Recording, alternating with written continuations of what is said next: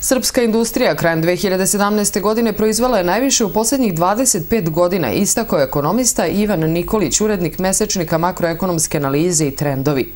On je ukazao da je učinak industrije na kraju prošle godine premašio do sadašnja dva maksimuma, dostignuta u proteklih četvrt vek.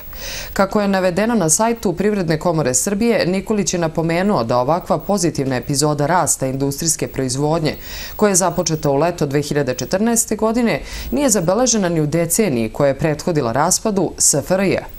Rast fizičkog obima industrijske proizvodnje 80. godina prošlog veka iznosio u proseku samo 0,95% godišnje, dok je od augusta 2014. do početka 2018.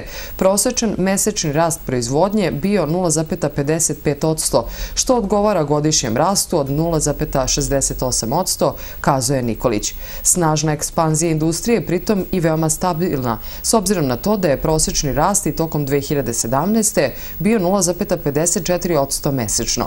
Autor ovog istraživanja zaključuje da je rast industrijske proizvodnje od 2014. na ovamo zadovoljavajući, ali i da je dostignuti nivo na kraju 2017. još daleko od onog iz 1990. godine.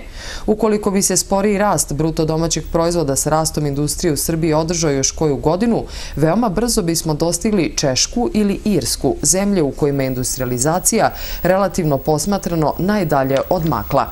U periodu 2010-2017. udvostručen je udeo srednje visokih tehnoloških oblasti prerađivačke industrije u stvaranju dodate vrednosti ovog sektora sa 11 na 22 odsto istakao je Nikolić. Unutar ovog tehnološkog podskupa najbolje pokazatelje beleži proizvodnja hemikalija i hemijskih proizvoda koji u periodu 2014-2017 otvarala čak 46 odsto prirasta dodate vrednosti cijelog podskupa srednje visokih tehnoloških oblasti. Slede proizvodnja nepomenutih mašina i nepomenute opreme 32,1% i proizvodnja električne opreme 12,3%.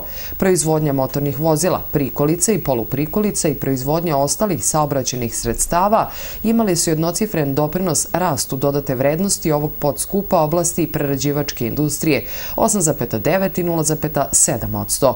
Visokotehnološke oblasti kao što je proizvodnja računara, elektronskih i optičkih proizvoda, kao i proizvodnja osnovnih farmaceutskih proizvoda i preparata, neznatno su smanjile svoj udo u prerađivačkoj industriji i to isključivo sed manjeg doprinosa farmaceutske industrije koju je u legalnom padu još od 2008. godine.